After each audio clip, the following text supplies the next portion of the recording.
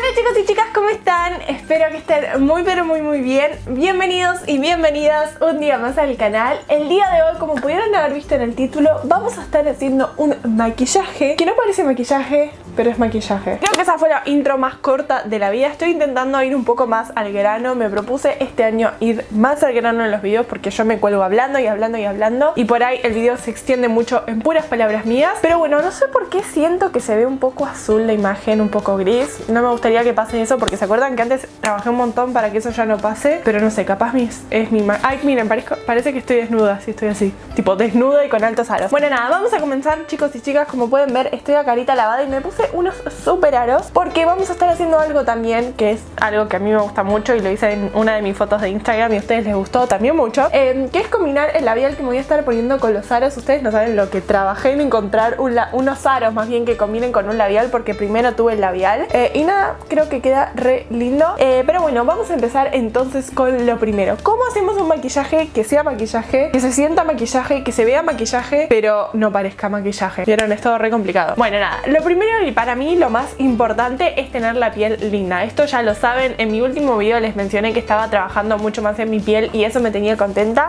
De hecho ustedes pueden ver como eh, en los videos y en la cámara Que se nota por ahí cuando la piel está sana Que tiene un brillo especial. Por ejemplo ahora no tengo nada de maquillaje Simplemente la tengo limpia e hidratada. Y bueno, ustedes saben hace un tiempo que probamos acá en el canal La Luna 2 de Foreo Y desde ese momento yo no la dejo de usar. Esto ustedes lo usan si quieren ver más en detalle cómo es eh, Cómo se usa, pueden ver mi review que les hice. La verdad les digo que desde que lo tengo no lo paro de usar. Como les dije se llama Luna 2, es de la marca Foreo Y básicamente lo que hace este hermoso aparatito es dar unas pulsaciones. Entonces vos te pones tu gel de limpieza y empezás como a masajearte así. Acá trae un botón, les explico rápidamente porque en ese video ya les expliqué. Eh, Y bueno nada, el botón activa el programa y aproximadamente dura lo que son dos minutos. Y nada, vos te vas masajeando por las distintas áreas del rostro y es la cosa más preciosa del mundo. Me gusta muchísimo el material del que está hecho porque me parece muy higiénico Eso también se los mencioné en ese video. Entonces nada, miren, o sea, Siento que me ajusta perfecto a las curvas de mi rostro y lo puedo agarrar de una manera hermosa. Además viene con su bolsita y eso me encanta porque por ejemplo para viajes yo me la guardo acá. Miren, la tengo toda sucia de tanto usarla. Me la guardo acá, la guardo en mi equipaje, no sé, maquillaje, de cremas, etcétera y siempre está conmigo. Y otra cosa que me gusta es que es súper práctica para cargar porque como pueden ver ahí trae su puertito de carga y esto es un USB. Entonces nada, lo puedes cargar literalmente en cualquier parte del mundo porque es un USB. Así que nada, si todavía no lo probaron les voy a dejar acá abajo el link para que compren la Luna 2 y chusmeen toda la página de Forio y los productos que tienen. Así que revisen la cajita de información. Pero bueno, para mí es muy importante tener la piel sana, la piel limpia, la piel cuidada. Por eso les recomiendo de verdad muchísimo que inviertan en aparatitos de este estilo. Porque son de verdad una inversión muy importante que cuida básicamente nuestra salud. Y todo lo que hagamos después se va a ver hermoso.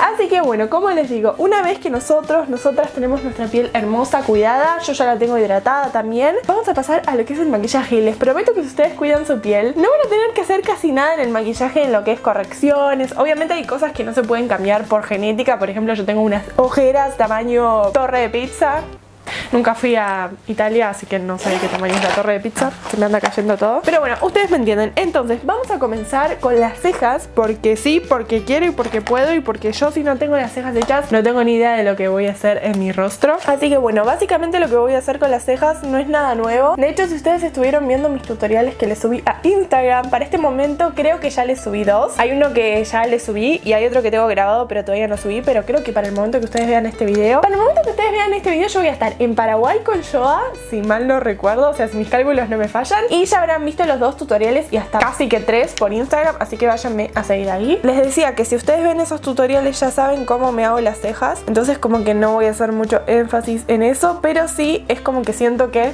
me da un toque distinto, es como que una vez que tengo las cejas hechas puedo empezar a planear o avanzar con el maquillaje. Así que bueno, vamos a hacer esto y mientras para que no se aburran o les pongo música o les corto Pero antes les voy a contar que para mí las cejas, o sea, es una diferencia enorme. Ya sea que se hagan detallitos pequeños como me hago yo O ya sea que se la reconstruyan toda porque no tienen muchos pelitos y demás O lo que sea que se hagan. Bueno y ahora voy a usar un gelcito para las cejas. Simplemente Más que nada para fijar el producto, o sea, más que nada lo uso no para fijar el producto, porque el producto se adhiere muy bien a la piel, eh, sino para despeinarlas un poco, sobre todo la parte del inicio y para seguir difuminando el color que pusimos. Y ahora vamos a pasar eh, a hacer los ojos, como les digo, y esto por ahí sí se nota que es maquillaje, pero les prometo que es como, no sé, para fotos y eso queda tan lindo porque no se nota. No tiene mucho sentido, ¿no? Pero bueno, voy a usar este corrector en pomada que, eh, si no me equivoco, en el tutorial de Instagram me preguntaron un montón es, y yo este corrector ya se los mostré, es el infalible 24 eh, horas de L'Oreal en pomada, es un corrector en pomada y me recuerda mucho al Paint Pot de MAC en,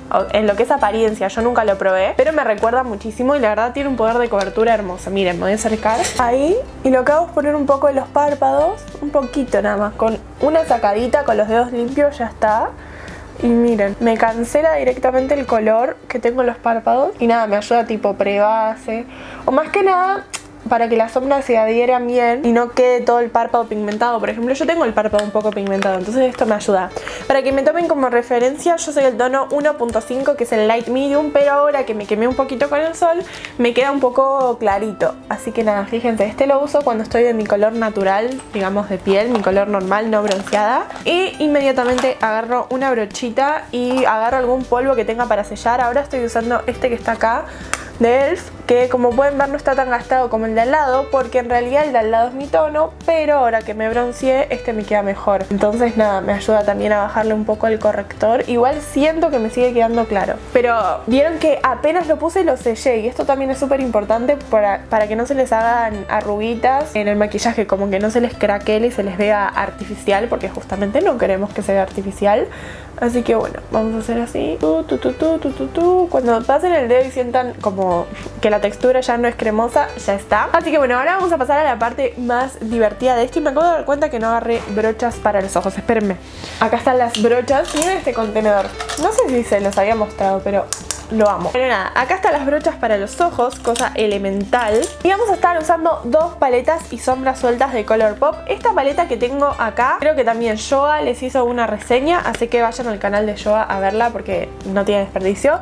Pero o sea, miren los colores, qué preciosos. Miren, creo que ahí pueden ver bien. Yo obviamente uso toda esta gama porque es la de los cálidos, esta es la de los fríos y con mi tono de piel no me quedan bien, así que es como que yo uso de acá para acá. Y vamos a arrancar con el más clarito y esto lo hice en un tutorial de Instagram que el que les digo que grabé y no sé si todavía le subí, pero después nada, se, fue, se me fue de tema el maquillaje, así que le hice delineado y todo eso. Eh, hoy vamos a estar haciendo algo más tranqui porque justamente la idea es que no se note, pero nada, pensé mucho en si hacerles este video también, porque tenía ganas como de hacer algo así, pero siempre me están diciendo Juli, siempre te hacen lo mismo y no sé qué, y no sé qué, y es como, ¿ustedes me quieren? Bueno, si me quieren, acéptenme como soy. Siempre me hago lo mismo en los ojos. Estoy intentando igual delinearme, hacerme como que un pop de color abajo, pero de a poquito, de a poquito. Lo importante que les quiero mostrar hoy es nada, cómo queda la combinación de los aros con el labial y además cómo se puede tener un maquillaje para fotos o un maquillaje que no parezca maquillaje súper rápido. Así que bueno, rápidamente como vieron agarré una, una brochita, que esta brochita, miren, esta brocha es lo más, sale un dólar, es de ELF y la tengo hace bastante tiempo y no perdido ningún pelo. Y es buenísima porque es como de aplicar color, o sea que aplica color pero a la vez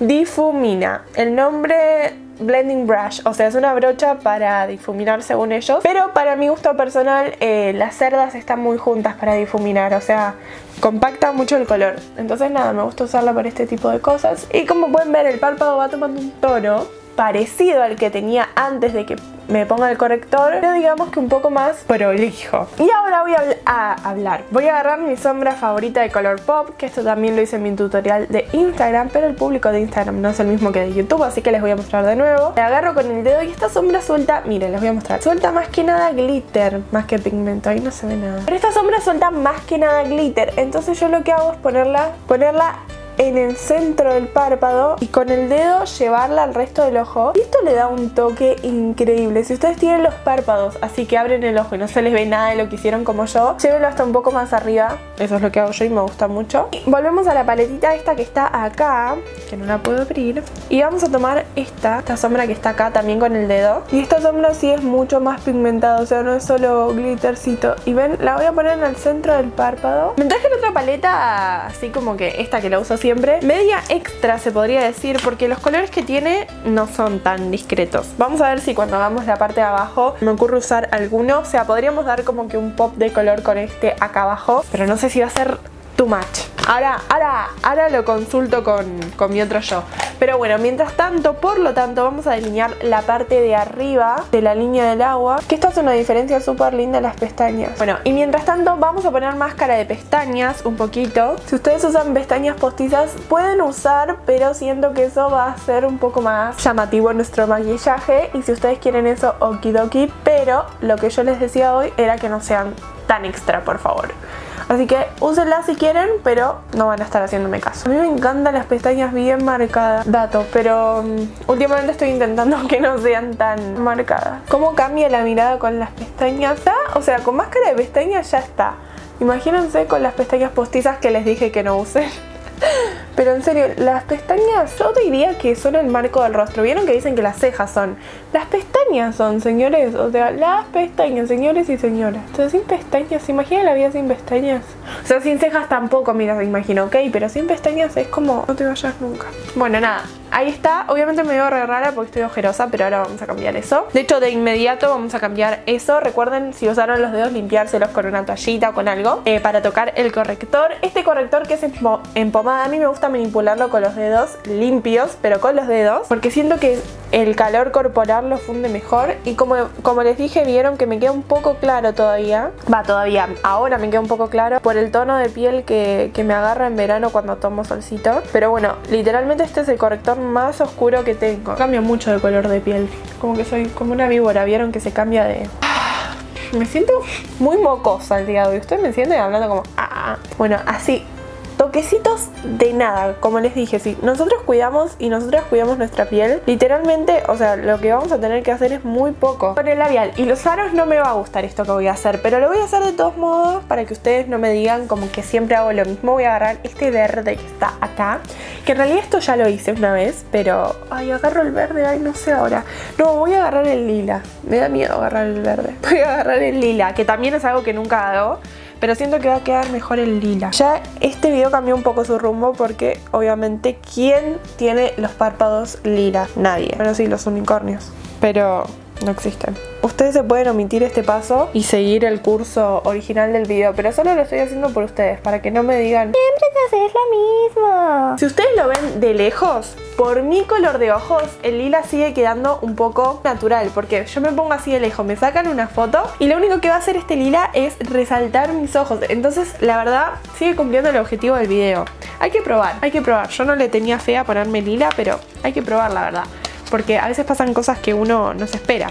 Bueno, me voy a poner máscara de pestañas en las pestañas de abajo. Bueno, y así queda con, la máscara de pestañas en las pestañas de abajo. Ahora si ustedes quieren se pueden aplicar bronceador, como por ejemplo este, con una mofetita para que quede natural. Yo no lo voy a hacer porque como ya estoy bronceada no quiero broncear mi piel, pero sí lo que voy a hacer es aplicar eh, un poco de rubor. Voy a agarrar el rubor que estoy usando mi brochita de rubor, aplicar así un poquito en las manzanitas y también llevarlo un poco para atrás porque como no vamos a tener contorno ni bronzer, nada, no quiero que quede tipo rojo acá y acá nada. Bueno, y ahora pueden usar o iluminador líquido que de hecho les hice un video sobre esto, les va a estar apareciendo acá en pantalla o iluminador en polvo también que queda muy bien. Yo voy a elegir en polvo pero no el que les mostré, voy a elegir el que trae la paleta que está acá porque a mí me gusta preferencia personal, combinar el estilo, por ejemplo, si tengo un dorado, quiero traer el mismo dorado en, el, en, el, en lo que es el pómulo, o sea, si traigo, no me expliqué bien, si traigo dorado en los ojos, quiero que el mismo dorado esté en mis, en mis pómulos para que parezca una luz más natural y no haya una tonalidad distinta en cada parte del rostro. Esto es, o sea, una preferencia demasiado así como... Pero nada, si ustedes quieren hacerlo así, prueben y después me cuentan. Em, no tengo brochita, tampoco me traje brocha para el iluminador. ¿Qué está pasando? Bueno, voy a usar esta, que miren lo que es esta brocha, la amo. Bueno, y voy a tomar un poquito, el que está al lado, el violeta, está épico. Hoy ya, ya hicimos demasiado. Este iluminador es muy económico, o sea, la paleta es muy económica y les trae varias opciones y la verdad me parece genial. Si no me equivoco, mi amiga Majito Gexy Makeup y Meli, Meli Quiroga también hicieron algo sobre esta paleta que usé. Así que si quieren saber más, vayan a ver el canal de las chicas, que ahí tienen más información. Pero es una paleta muy bonita, ahí pueden saber, no sé, cuánto cuesta, eh, ver un, no sé, por ejemplo, en el caso de Meli seguro se mandó alto tutorial y yo la estoy usando como negra de tres años. Em, así que nada, ustedes vayan a chusmear, vayan a chusmear que para eso está YouTube. Pasen mucho tiempo en YouTube, YouTube es lo más. Pero bueno, miren, me puse en todos lados. Recta final, perdí el labial. Perdí la estrella del video. ¿Cómo perdí el labial?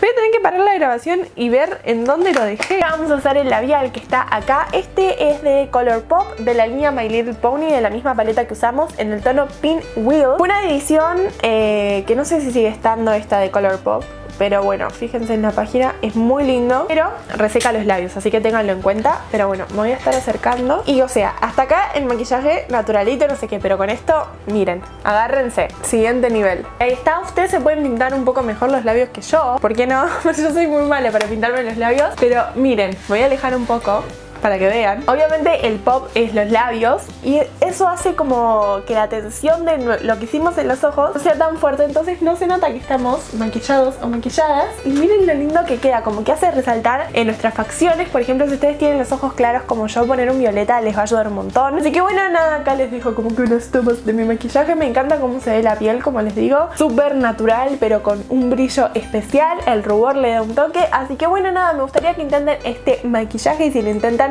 me manden sus fotitos a Instagram y nada, ya despido el video, nos vemos en el próximo. Bye.